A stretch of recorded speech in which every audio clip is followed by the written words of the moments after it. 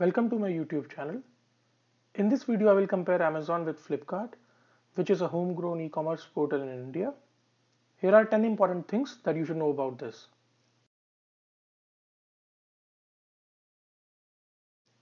Amazon was founded by Jeff Bezos in 1994 as an e-merchant of books. It expanded to wide category of products afterwards. Flipkart was founded by Sachin and Binny Bansal in 2007. They copied the Amazon model in India and started with books as well.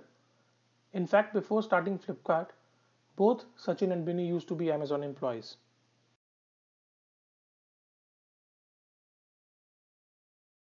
Amazon is headquartered in Seattle, USA, and it has its offices in Hyderabad and Bangalore in India. Flipkart is based out of Bangalore in India.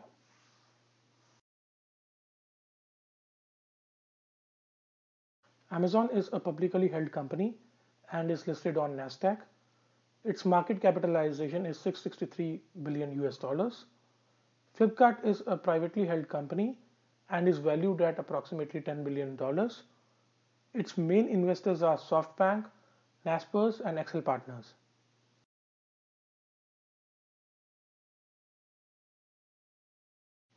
Amazon has two types of fulfillment networks Amazon Fulfilled and Merchant Fulfilled. Under Amazon Fulfilled, Amazon offers logistics service to sellers. If sellers also opt to store goods in Amazon warehouses, it's called FBA or Fulfillment by Amazon. It is a type of vendor owned inventory model where sellers' inventory lies in Amazon warehouses, but the inventory belongs to sellers.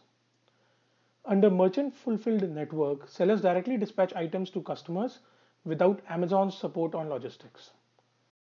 Flipkart also offers similar services and Flipkart fulfillment is equivalent to Amazon's FBA and they also offer storage and logistics support to the sellers. They also support merchant fulfillment network just like Amazon. Amazon likes to call its sales events Great Indian Sale. It is known to offer a decent discount and lightning deals on a variety of products. They also brought their global shopping event Prime Day to India in 2017.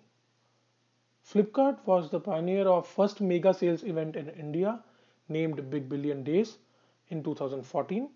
It was a huge success and has been held every year since then around Diwali. Both the companies offer discounts on festivals like Diwali, Dussehra or events like Independence Day, Republic Day. Amazon has its own logistics wing named Amazon Logistics, which delivers most of the volume for Amazon India.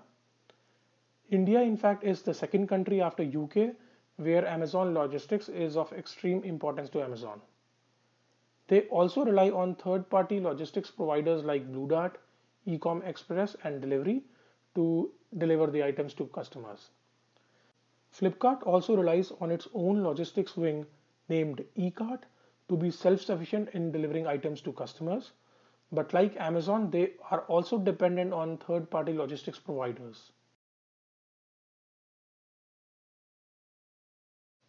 Amazon offers its subscription service named Amazon Prime. It costs rupees 9.99 per year and comes with free expedited delivery on qualifying products. You can also stream a huge collection of movies and TV series if you are a member of this service. Also, Prime customers get an early access to some deals during sales events. Flipkart offers Flipkart First, which costs about 500 rupees per year. It also offers expedited delivery on qualifying products, but is a no match to Amazon Prime.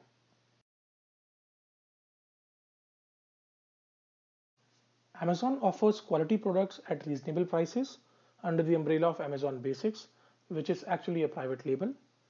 They offer computer accessories, luggage, and home furnishing items under this brand. Flipkart also has a similar foray into this space named Flipkart Smart Buy, and you can get computer and mobile accessories, household items at affordable prices.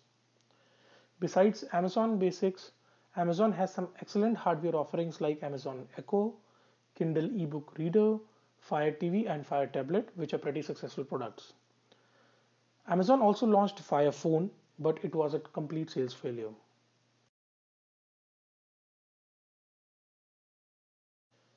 Amazon owns a variety of companies like IMDb. Most significant of all is AWS or Amazon Web Services, which is a cloud services platform and offers web hosting to a lot of big names. It is in fact the main revenue stream for Amazon. Flipkart owns Myntra, which in turn owns Jabong now. These three companies are still run as independent entities, but together they are a formidable space in Indian e-commerce. Both companies claim to be leader in Indian e-commerce space. We believe Amazon has slight edge over Flipkart in terms of number of orders. If you consider Myntra and Jabong's orders as well with Flipkart, then they will have a decent edge over Amazon. Amazon has deep pockets and is investing significantly in India. Flipkart recently got funds from SoftBank to support its further growth. Only time will tell which company will survive and be the number one but we sincerely hope that both Amazon and Flipkart remain significant in Indian e-commerce space because competition is good for customers at the end of the day.